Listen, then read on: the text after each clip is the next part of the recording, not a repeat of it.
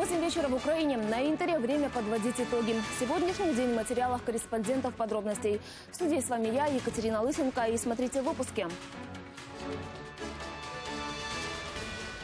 Летели мантии, как в парламенте судьи увольняли. Крупная рыба, на чем погорел зам мэра Херсона. Сними меня, если сможешь. К чему приведет запрет видеосъемки полицейских при исполнении? Крым без татар. Верховный суд России окончательно запретил Меджлис. Ее Величество против. Какой приговор вынесут британцу, воевавшему на Донбассе на стороне боевиков? Судили, раздевали. Депутаты сегодня собрались на внеочередное заседание парламента, чтобы снять мантии с нескольких десятков судей. Это была последняя возможность, когда уволить служителей Фемида могла Верховная Рада. Уже через два дня в силу вступают изменения в Конституцию, а это значит, что право увольнять и назначать судей переходит к Высшему Совету правосудия. Что успели наспех проголосовать нардепы и почему по некоторым судьям решения принимали с 11 попытки. Подробности Ольги Рыцарь. Зареєстровано 264 депутати. Неочередное заседание открыли. Зарегистрированных карточек достаточно, чтобы уволить 34 судьи. Именно на них сегодня в парламенте представление на увольнение от Высшего Совета юстиции за то, что лишали прав участников Евромайдана и сажали их за решетку. Рішення Вищої ради юстиції на сьогоднішній день про пропозицію звільнити суддів за порушення присяги є чинними І жодних застережень для того, щоб ми їх не голосували, немає. Из всех виновников внеочередного заседания в зале только один судья. Говорит, переехал на материковую Украину сразу же после аннексии Крыма и активистов Евромайдана не судил. Будь-якого відношення до засудження активістів Майдану я не мав і не маю. От. Подання, подання було ініційовано попередньою Вищою Радою в 2013 році. Уволить этого судью депутаты не смогли. Впрочем, все последующие голосования тоже провалили. Тогда решили, причину увольнения каждого нужно тщательно обсудить. Я предлагаю, чтобы сейчас поставить на голосование вопрос о закрытии внеочередной сессии и рассмотреть все эти подания в нормальный рабочий день, когда будут все голоса. Нам бракує 25 голосів. Я думаю, що в нас є шанс протягом обговорення 15 хвилин ці 25 голосів зібрати. Спикер Андрей Порубий зазывал депутатов в зал, угрожал обнародовать имена каждого, кто не голосовал, отменил все перерывы и снова ставил вопросы на голосование. Колеги, суддя, яка звільнила садовника, Якщо сьогодні ми не знайдемо 226 голосів, то я вважаю, що у вівторок першим питанням повинно бути стояти звіт регламентному комітету про наявність чи відсутність у залі парламентської коаліції. Два голосования «за», а дальше снова уговоры спикера. Но тщетно. С точки зрения Конституции, с точки зрения закона, это никчемное наше решение. И поверьте, люди будут защищаться. Вы увидите, что будет с 1 октября. Порвали судебную власть. Уверен, что не все они э, виновны. Два часа дискуссий и ни одного перерыва. Спикер решил работать нон-стоп до победного. І дискусії, проте є дискусії. Одні е, такі судді, одні не такі. Є Вища рада юстиції. Не можуть депутати в залі обговорювати кожного окремого суддю. Наша фракция поддержала реформу судебной системы, потому что мы считаем, что судьбу судей, назначение, увольнение должна определять орган, который разбирается в этом. То, что происходит сегодня, когда парламент опять в нарушение всех законов, регламентов заставляют выполнять несвойственные функции, голосовать огульно за там 33 судьи, причем там непонятно даже в чем они обвиняются, поскольку не исключено, что там личный конфликт. Но сегодня Порубий поставил новый рекорд. 11 попыток голосования за одно постановление. 226 рішення прийнято, колеги. Наступна Умисно, на мій погляд, влаштоване це шоу з тим, щоб не було людей в залі, для того, щоб показати і остаточно добивати парламентаризм в Україні. В зале отсутствовали нардепы группы «Воля народа» и «Відродження». Голосов за увольнение не дали в оппозиционном блоке, частично в «Батькивщине» и блоке Петра Порошенко. Несмотря на это, уволили 29 судей. Из них 19 принимали решения по автомайдановцам, уверяет спикер и оправдывает свои методы. сьогодні введення сесії було таким, яким могло бути в існуючих умовах. Для мене було одне рішення: ми повинні вийти на позитивний результат. После пяти часов непрерывной работы депутаты разошлись до вторника. Ольга Рыцарь, Ирина Романова, Владимир Самченко, Иван Ермаков. Подробности телеканал «Интер». Президента сообщили, что... а уже через час после окончания внеочередного заседания Петр Порошенко уволил одиозную судью Печерского райсуда столицы Оксану Царевич. На сайте президента сообщили, что указ об увольнении Порошенко подписал сегодня сразу после того, как получили представление на увольнение Царевич от Высшего совета юстиции. Ни дня без взятки. В Херсоне на горячем поймали исполняющего обязанности заместителя мэра Аркадия Подлесного и его подельника, замначальника управления ЖКХ. Сумма взятки составила 81 тысячу гривен. Подробности расскажет Кирилл Ющишин. Чиновников задержали накануне поздно вечером. Заместителю мэра как раз принесли последнюю часть требуемой суммы – 45 тысяч гривен из 81 тысячи. Деньги взяточники требовали у представителей фирмы как вознаграждение за предоставление подрядов на ремонт жилых домов. Об этом на своей странице в Facebook утром написал генпрокурор. Сразу после задержания следователи прокуратуры и СБУ провели обыски в 20 разных местах. Дома у подозреваемых, в рабочих кабинетах. Осмотрели и кабинет мэра Херсона Владимира Миколенко. Сегодня тот собрал пресс-конференцию и, как говорится, с потрохами сдал и имена, и должности чиновников, замешанных в схеме. Це пан Рибаков, який свого часу очолював департамент житлово-комунального господарства.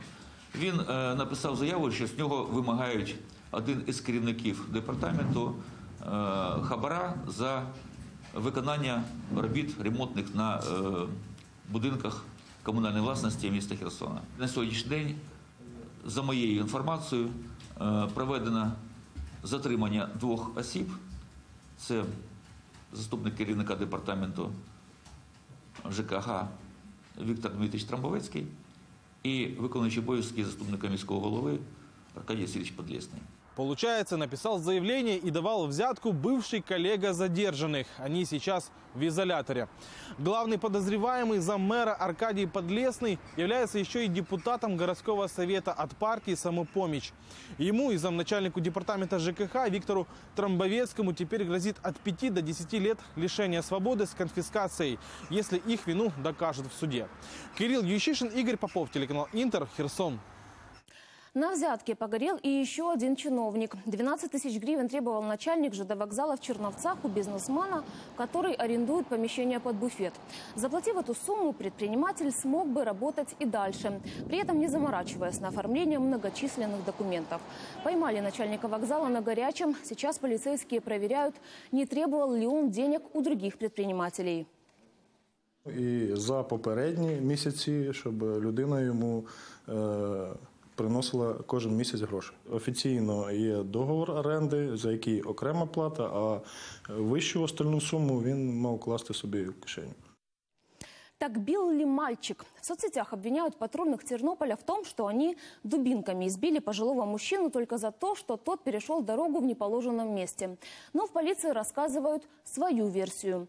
И все могло бы объяснить видео с места происшествия. Есть ли записи, что произошло на самом деле, выясняли наши корреспонденты. Все произошло именно здесь, вот на этой дороге напротив городского автовокзала. Как рассказывают очевидцы, вчера пожилой мужчина лет 65 переходил здесь дорогу в неположенном месте. Это заметили полицейские и сразу бросились вслед за нарушителем. Поліцейські до нього пристали і так як перейшли за ним теж дорогу не в положеному місці, і там почався скандал, я того не бачив. Как развивались события дальше, точно неизвестно, но вскоре в соцсетях появились сообщения очевидцев, что якобы полицейские избили этого мужчину. Пишут, применяли дубинки и слезоточивый газ. Там же появилось и вот это видео. Возмущенная толпа обвиняет полицейских в том, что они неправомерно применяли силу. Себе трохи стримують, я зняла абсолютно все, як ви поводитеся з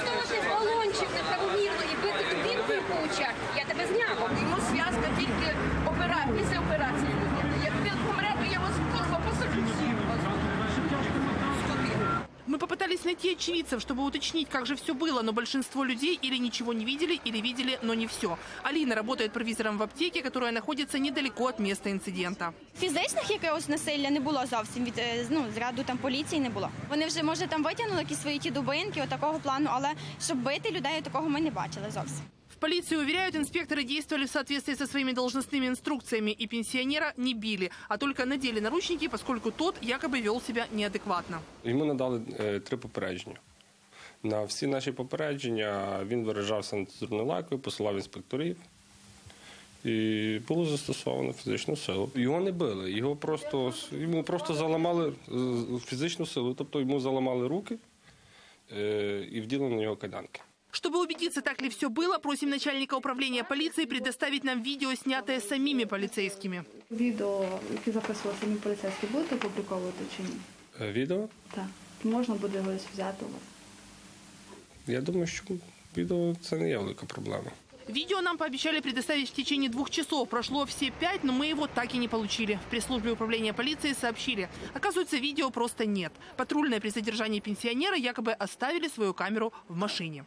Жанна Дучак, Зиновий Автонас. Подробности телеканал Интер. Тернополь. «Снимай меня, если сможешь». В законопроекте о презумпции правоты полицейского будет прописана норма, запрещающая гражданам проводить видеосъемку действий патрульного при исполнении. Об этом заявила глава нацполиции Хатия Даканаидзе. Но насколько законна эта идея и в каких странах есть подобные запреты, узнавали наши журналисты. Запретить снимать работу патрульных. Такой пункт будет прописан в новом законопроекте о внедрении презумпции правоты сотрудника полиции. Об этом заявила глава нацполиции Хатия Даканаидзе.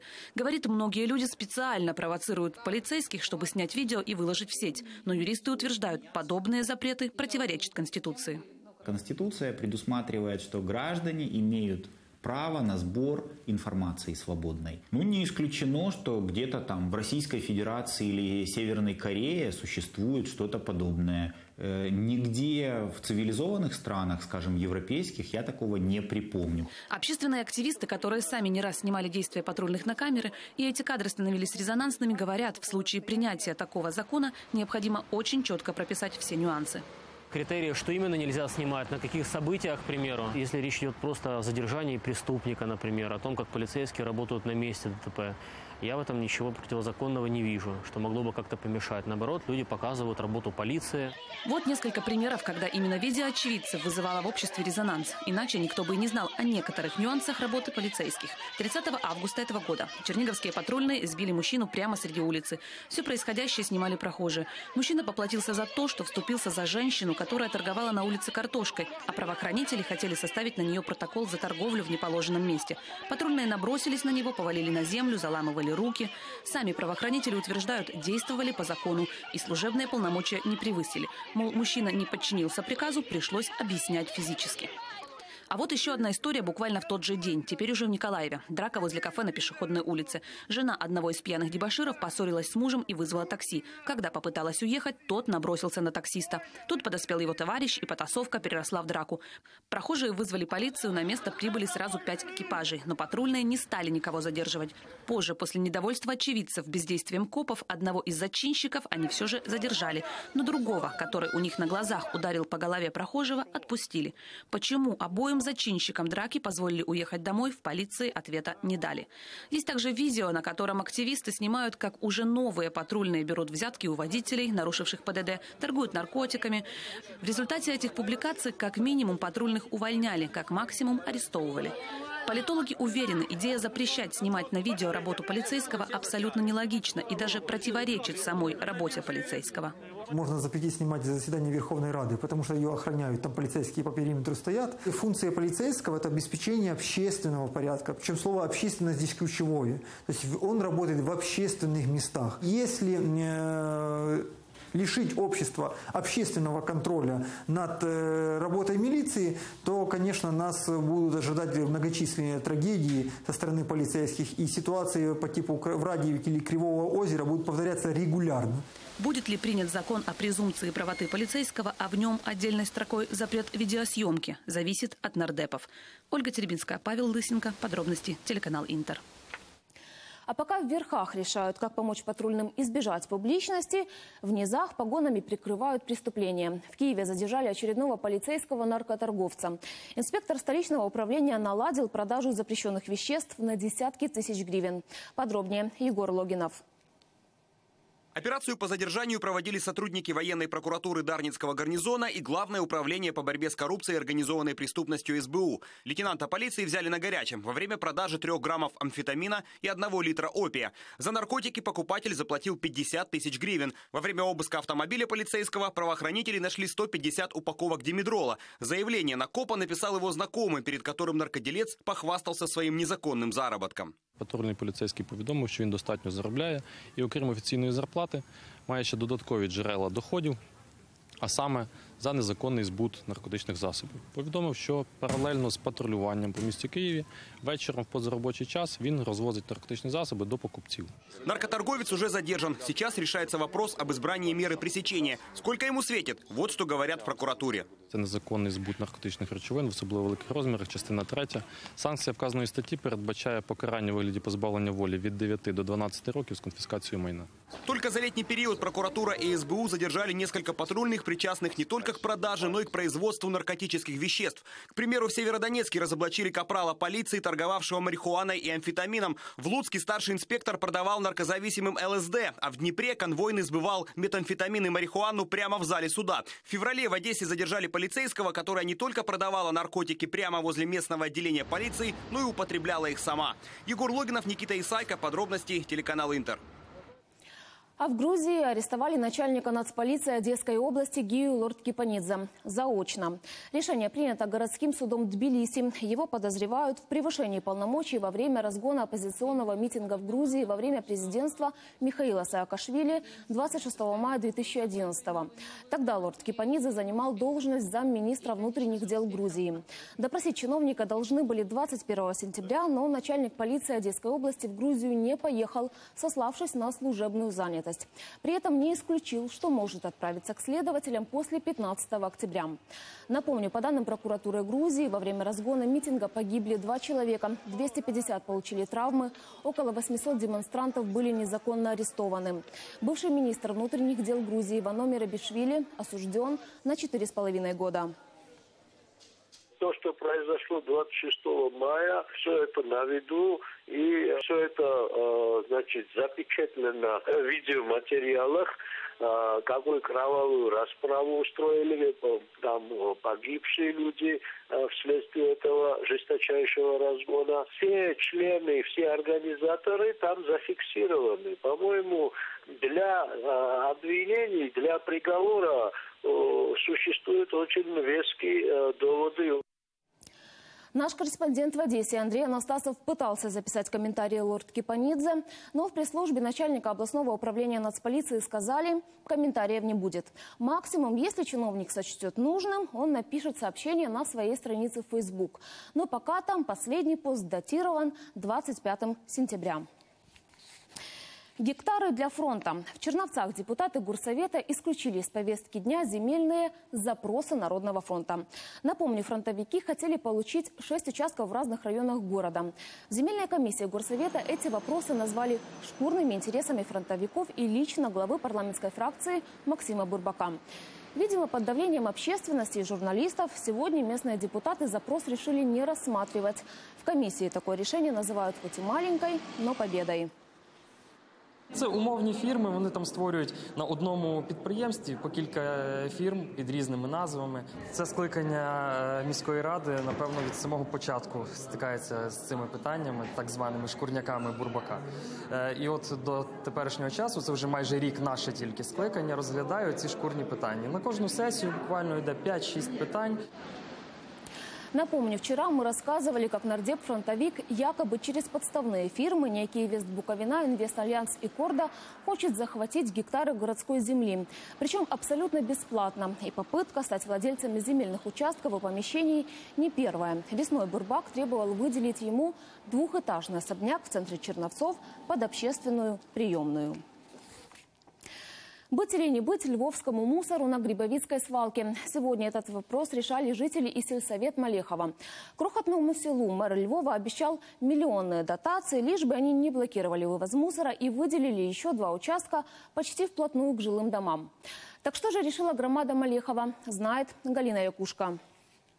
Судный день для львовского мусора. В крохотном сессионном зале села Малехов рассматривают договор со Львовом. В помещении негде яблоку упасть. Явились не только депутаты, но и большинство жителей села. К рассмотрению судьбоносного вопроса подошли торжественно, открыли сессию государственным гимном.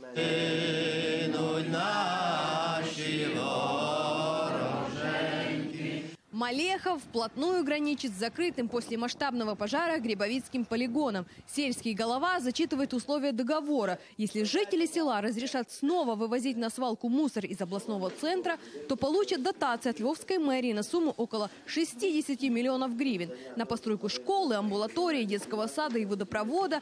Но оказывается, селян подачки от мэра Садового не интересуют. Текст договора они воспринимают скептически.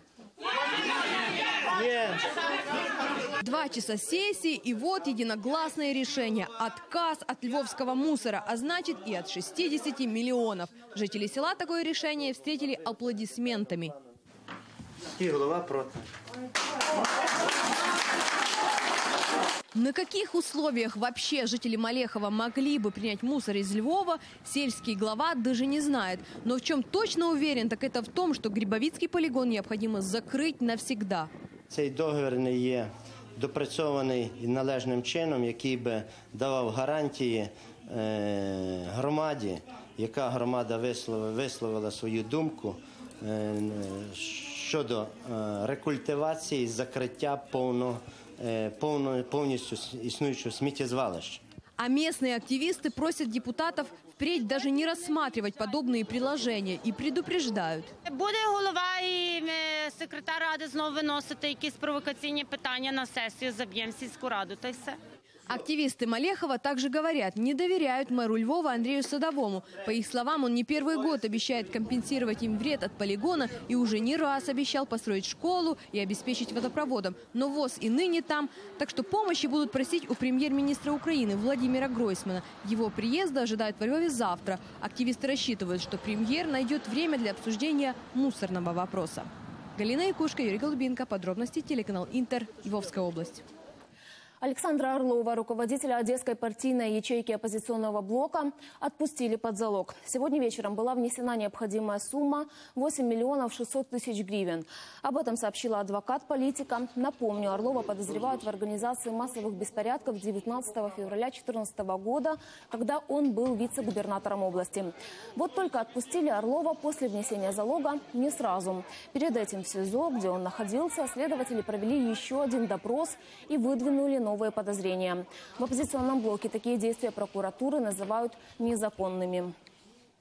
Обвиняют его сейчас по статье 340 Уголовного кодекса.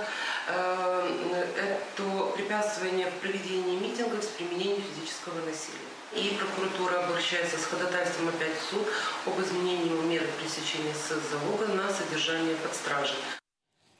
Напомню, история с расследованием избиения журналистов перед зданием Одесской обладминистрации длится два с половиной года. Тогда, по данным прокуратуры, несколько человек получили легкие травмы. За это время, по словам адвоката, Орлов неоднократно давал показания. В его доме у его родных не раз проводились обыски. При этом ни один прокурор Одесской области, находившийся на посту за это время, не выдвигал никаких обвинений в адрес Орлова. Окончательно запретить меджлис крымских татар и признать его экстремистской организацией. Такой вердикт вынес сегодня Верховный суд России.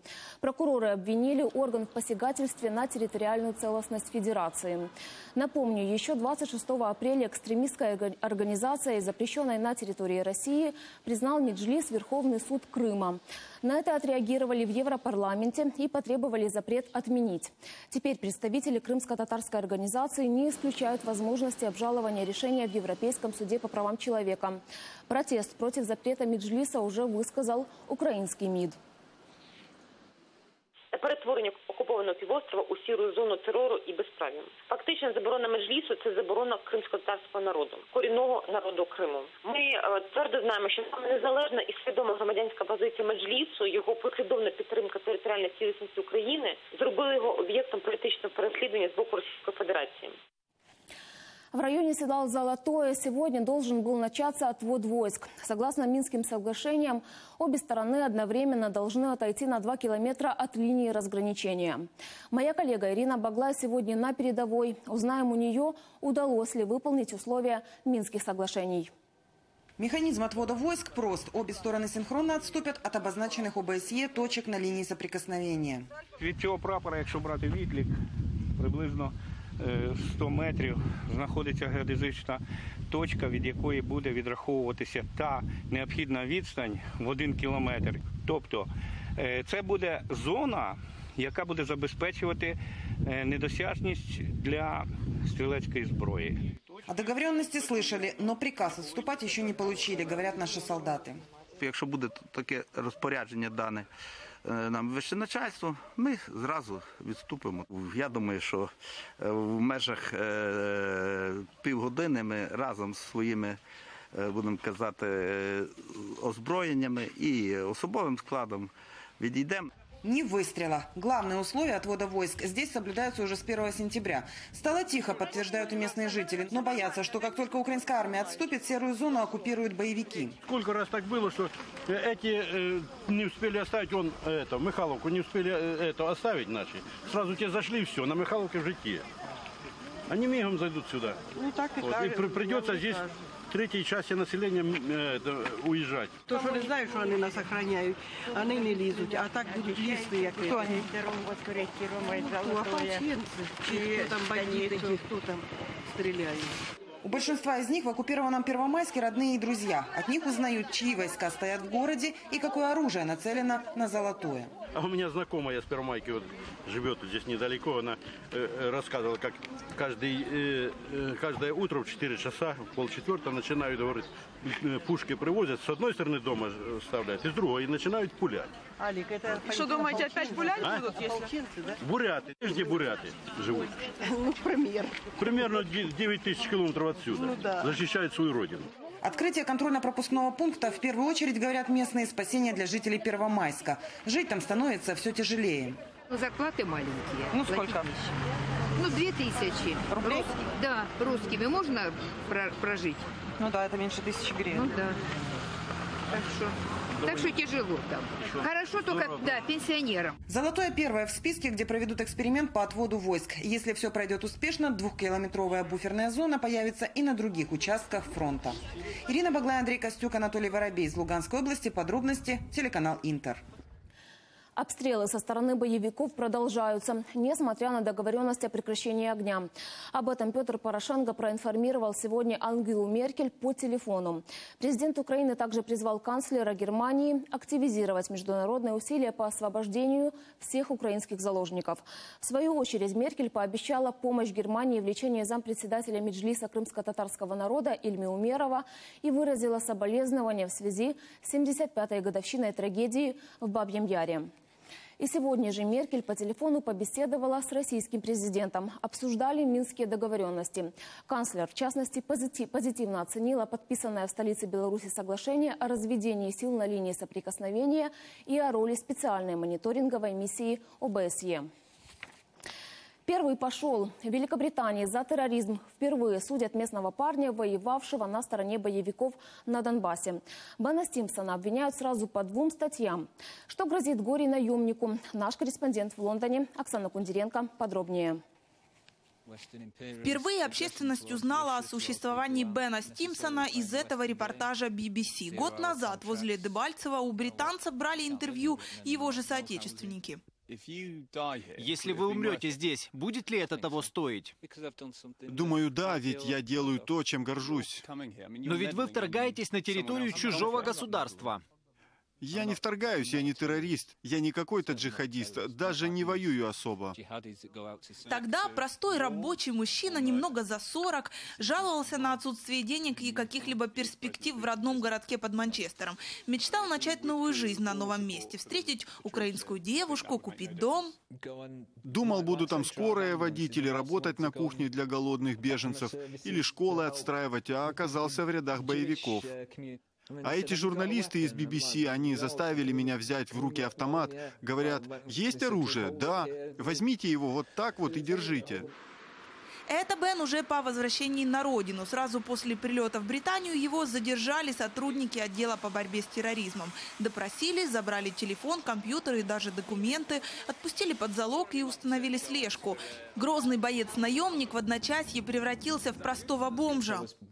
Так получилось, на меня надели форму, и я, знаете, я не хотел никому причинить зла, я не собирался убивать людей как террорист.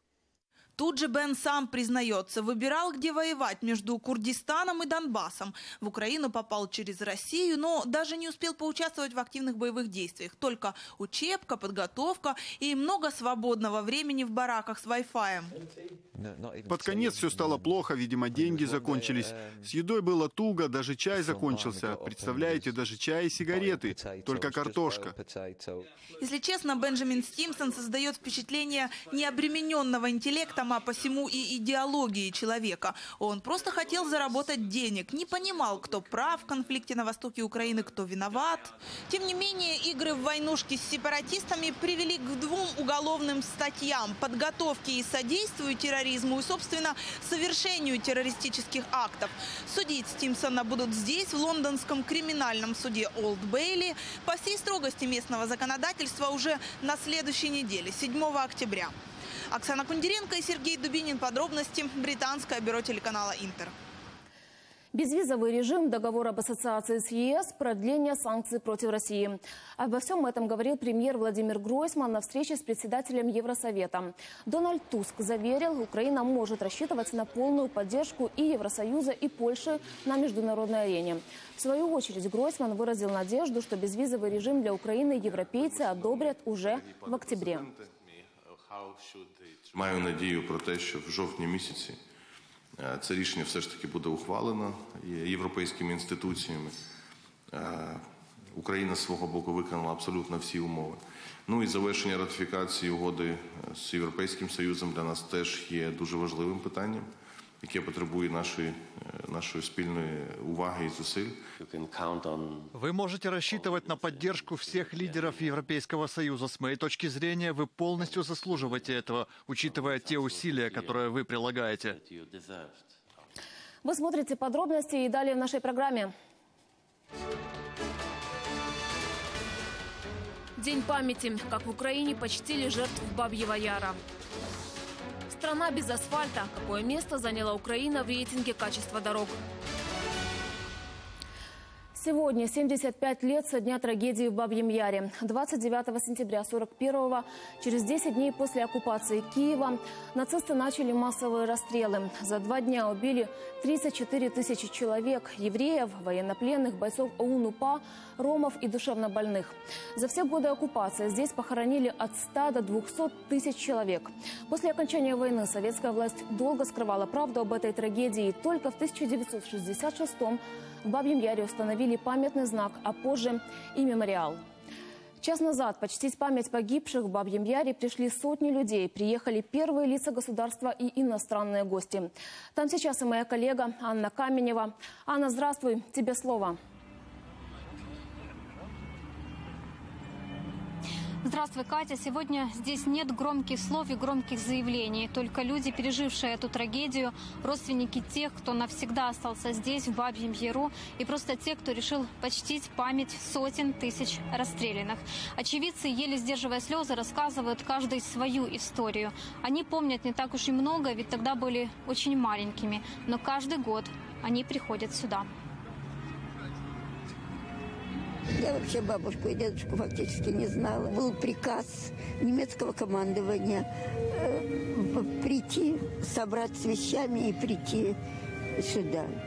Но и никто же не думал, что их расстреляли. Все думали, что их куда-то отвезут.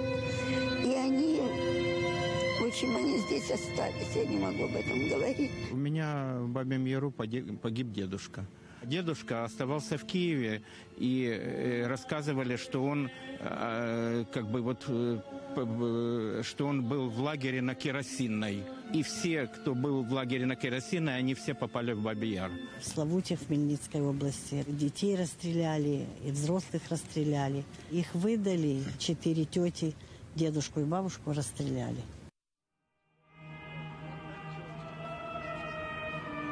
За два года оккупации Киева нацисты расстреляли в Бабьем Яру по разным данным от 100 до 2000 человек. Евреев, украинцев, ромов. Военнопленных. Позже они пытались скрыть свои преступления, сжигая тела руками узников концлагерей. Об этом всем рассказывают стенды, которые отныне находятся в этом парке. Сегодня также здесь проходит траурная церемония в память о погибших.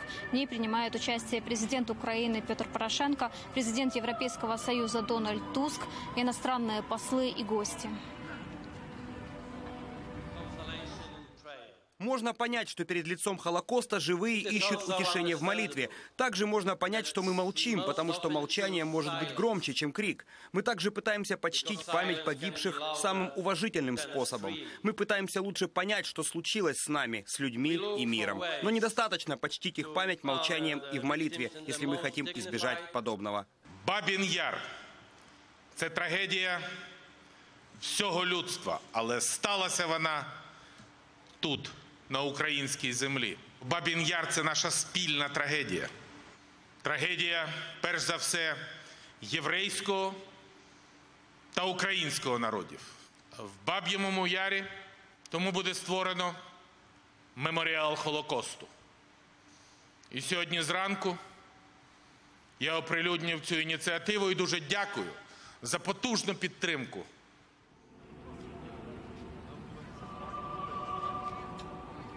Память погибших почтили минутой молчания, а сейчас траурная церемония все еще продолжается. Студия. Спасибо, Аня. Это была Анна Каменева. Она видела, как чувствовали память жертв трагедии в Бабьем Яре. А тем временем в Умань съезжаются хасиды отмечать Рос Ашана. В эти выходные иудеи всего мира будут праздновать 5777 Новый год. В Умане находится могила хасидского пророка Раби Нахмана. Поклониться едут паломники со всего мира. Почти неделю они будут молиться и праздновать. Ожидается, что в этом году приедут более 30 тысяч человек. А поскольку Роша Шана совпадает с Днем Умани, в городе будут приняты усиленные меры безопасности. Цілодобове патрулювання проводиться в районі паломництва. Е, умовно територія, яка на якій концентрується даний захід, поділена на шість е, дільниць. Сьогодні е, в місто Умань прибуває зведений загін правоохоронців Ізраїлю, які будуть надавати нам практичну допомогу. Пятые с конца. Швейцарская международная организация «Всемирный экономический форум», которая устраивает ежегодные встречи авторитетных представителей общества в Давосе, опубликовала свой рейтинг качества дорог в 138 государствах. Тут похвастаться могут Арабские Эмираты. Страна занимает первую строчку. В пятерку лучших попали также Сингапур, Гонконг, Нидерланды и Япония. А вот Украина, увы, заняла почетное пятое место с конца. Хуже дороги оказались только на Мадагаскаре, в Парагвае, Конго и на Маврикии. Рейтинг составляется каждый год на основании открытой информации, а также с учетом мнений нескольких тысяч экспертов из более чем 100 стран. И одну из украинских дорог, трассу Николаева-Одесса, сегодня перекрыли. Работники судостроительного завода требовали выплатить зарплату. Ее не получали уже пять месяцев и уволить директора. Утверждают, руководство завода ведет предприятие к банкротству. Два месяца назад обрезали электричество, а сейчас увольняют сотрудников под надуманными предлогами. Услышали ли рабочих чиновники? Подробнее наши корреспонденты. Две недели назад работники завода имени 61-го коммунара уже собирались на акцию протеста. Тогда возле завода управления предупредили руководство предприятия и власти. Если не получат зарплату, перекроют движение на междугородних трассах. Но никаких подвижек не произошло, и сегодня люди вышли на трассу. Народ доведен, да, Леночка. мы готовы и перекрывать, мы готовы. Лена, покажи вот расчетный листочек. Ну вот задолженность у людей. У каждого человека задолженность 50-80 тысяч составляет. Выходят шахтеры, у них месяц-два. Шахтеров все видят. Они выходят когда, а у нас долг сумасшедший. Нас никто не видит, нас никто не слышит. Чтобы избежать пробок, полиция пустила транспорт в объезд заблокированного участка. Акция длилась несколько часов. Но никто из властей к пикетчикам так и не приехал. Проблема не только в невыплаченных зарплатах, утверждает нардеп Сергей Каплин. По его информации, сейчас на заводе режут крейсер, построенный на 98%. Запчасти с этого крейсера подходят только для одного другого крейсера, одинакового проекта, реализованного в период Советского Союза, крейсера «Москва». У нас есть все основания утверждать, что Пашинский вместе со своим директором, который был назначен э, Народным фронтом на эту должность разграбляет сегодня предприятия и торгует с русскими. Люди уверены, их предприятие стало жертвой экономических диверсий, ведь уничтожение оборонного судостроительного в условиях военной агрессии абсолютно нелогично. Я атошник, мені виплатили, що коли я на війні був. Ну, вже год не платять. Хитра війна у нас зараз. Хто-то воює, хто-то контрабас пускає. Если местные и столичные власти и на этот раз проигнорируют акцию рабочих, в следующий раз они намерены перекрыть трассу Киев-Одесса бессрочно. Даниил Снисар, Кирилл Ющишин, Игорь Попов. Подробности телеканал Интер, Николаев. Перекроить проект госбюджета на следующий год предлагают в оппозиционном блоке. Как именно, рассказал лидер политсилы Юрий Бойко на встрече с пенсионерами и ветеранами Киевской области. По предварительным подсчетам, в следующем году около 70 миллиардов гривен дополнительного дохода госбюджет получит за счет инфляции и обесценивания гривни. Еще около 30 миллиардов можно будет сэкономить, урезав расходы силовиков и армии. Сэкономленные 100 миллиардов оппозиционеры предлагают направить на повышение повышения минимальных зарплат и пенсий. Эти правки в проект бюджета уже в профильном комитете парламента, также получат их и в правительстве. Мы считаем, что это очень конструктивное, а главное, базирующееся на реальной экономической почве предложение, и будем предлагать правительству его принять. Что в том виде, в котором сегодня э, предлагается принять бюджет, это бюджет антисоциальный, антинародный, и он еще ухудшит, еще больше ухудшит жизнь людей при условии его принятия. Мы за этот бюджет варианта правительства голосовать не будем. О социальных гарантиях говорили сегодня и представители политсилы «Народный контроль» и члены Конфедерации свободных профсоюзов. Их инициатива – поднять минимальную зарплату на экспортных предприятиях.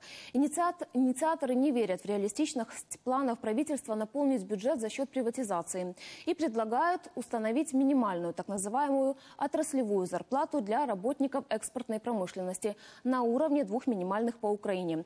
Поскольку такие предприятия зарабатывают твердую валюту и якобы якобы не пострадали от падения курса гривни. Напомню, на экспортных предприятиях страны в сферах металлургии, машиностроения, в химпроме работают 5 миллионов человек. Це збільшує добробут, знову ж таки встановлює справедливість в першу чергу щодо оплати праці, збільшує добробут 5 мільйонів сімей і відповідні відрахування до бюджету, які за нашими підрахунками вже наступного бюджету 2018 року дозволить піднімати зарплату бюджетникам завдяки цим надходженням не на 10%, а щонайменше на 30%. Железнодорожная катастрофа в Нью-Джерси. Не менее трех человек погибли, более ста пострадали в результате крушения поезда. Станция городка Хобакен сейчас в руинах. В утренний час пик поезд на полной скорости врезался в платформу. На кадрах, снятых очевидцами, видны масштабы аварии. Один из крупнейших железнодорожных узлов, где сотни людей каждый час присаживались на электричке до Нью-Йорка, разрушен. У большинства пассажиров серьезные травмы. Удар, удар был настолько сильным, что электровоз и первые вагоны буквально выбросило из рельсов. Почему машинист не затормозил, пока непонятно. Но власти говорят, что подъезжая к станции, он даже не пытался нажать на тормоз. Всех пострадавших уже извлекли из искореженного состава. Движение поездов на этом участке парализовано полностью. Власти ведут расследование.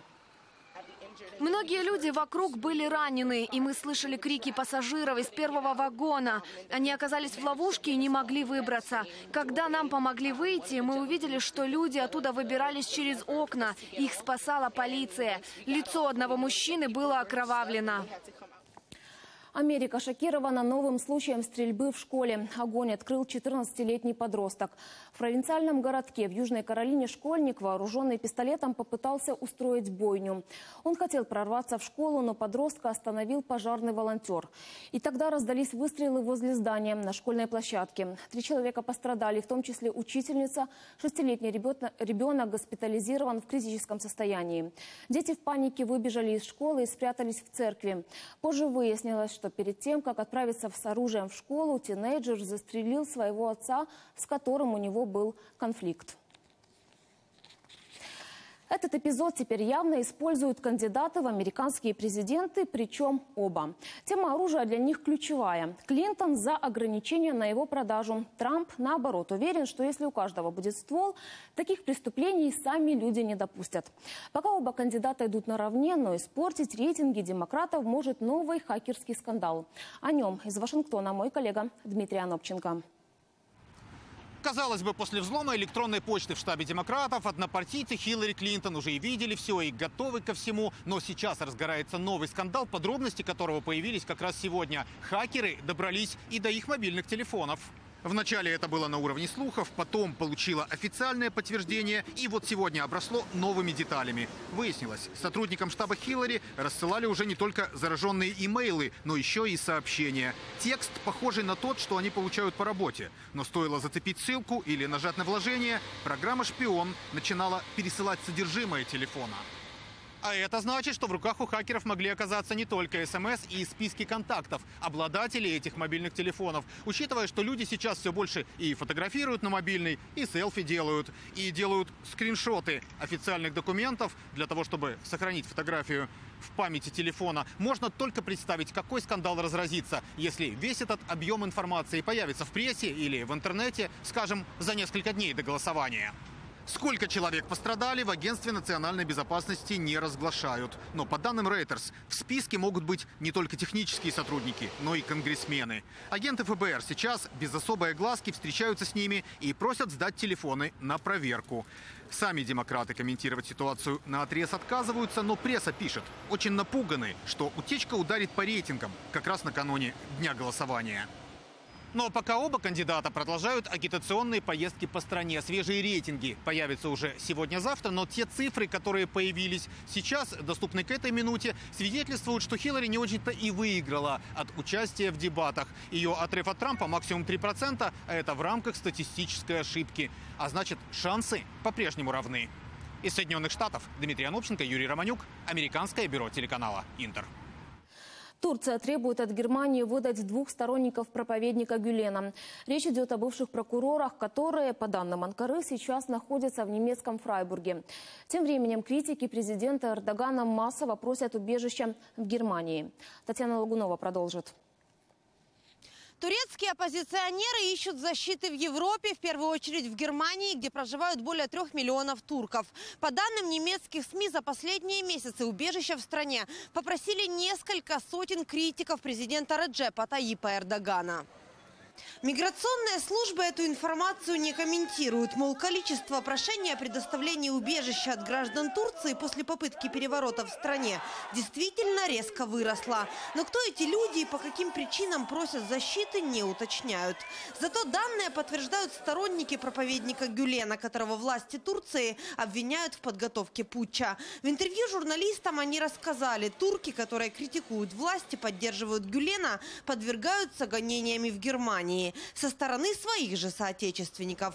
Якобы в турецкой общине составили списки сторонников проповедника, среди которых есть врачи, учителя, торговцы и призывают не пользоваться их услугами. А из школ, которые связывают с движением Гюлена, родители массово забирают детей в целях безопасности. Только в Штутгарте подобное учебное заведение покинули более 60 учеников.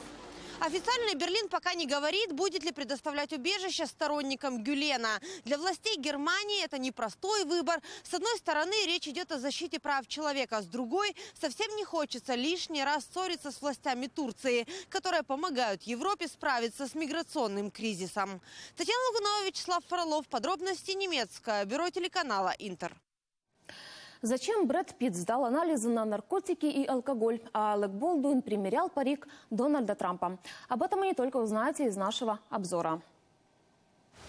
Олег Болдуин сыграет Дональда Трампа. Американский актер появится в образе кандидата в президенты от республиканской партии в комедийной программе Saturday Night Live на канале NBC 1 октября. Его конкурентку Хиллари Клинтон сыграет актриса Кейт МакКиннон. Анонс шоу, размещенный в Ютубе, за сутки просмотрели почти полмиллиона человек. Развод Бранжелины, война миров в разгаре. Брэд Питт прошел тест на алкоголь и наркотики из-за обвинения жены в жестоком обращении с детьми. Актер сдал анализы добровольно, чтобы продемонстрировать всем, ему нечего скрывать. На прошлой неделе стало известно об инциденте на борту частного самолета, во время которого Питт, будучи предположительно нетрезвым, ударил своего старшего сына Медекса. Именно это якобы и подтолкнуло Анджелину Джоли к разводу. Не нашли поезд с золотом, строят свой. Разочарованные неудачными поисками нацистского золота, польские энтузиасты мастерят копию мифического поезда в масштабе один к одному. Один вагон уже готов, а также фальшивое сокровище слитки золота с нацистской символикой. Впереди работа над локомотивом и еще тремя вагонами. Масштабный оползень разрушил деревню в Китае. 400 тысяч кубометров почвы завалили два десятка домов. Из-под обломков живыми достали 15 человек. Без вести пропали не меньше 30. Оползень произошел из-за проливных дождей, которые в восточной провинции Чжэцзян принес тайфун Мэгги. Из зоны бедствия уже вывезли полторы тысячи человек. Эвакуация продолжается. Воздушные шашечки. В Мехико запустили первое в мире авиатакси. Небольшой вертолет частного оператора берет на борт до пяти человек с багажом 10 килограммов. Пока что такси курсирует только из международного аэропорта и назад дважды в день. Собственник службы собирается хоть как-то разгрузить интенсивное движение на улицах мексиканской столицы. Но вряд ли эффект будет ощутимым. Стоимость проезда почти сотня долларов. Следите за развитием событий на нашем сайте подробности UA. А в прямом эфире увидимся уже завтра. Хорошего вам вечера и до встречи на Интере.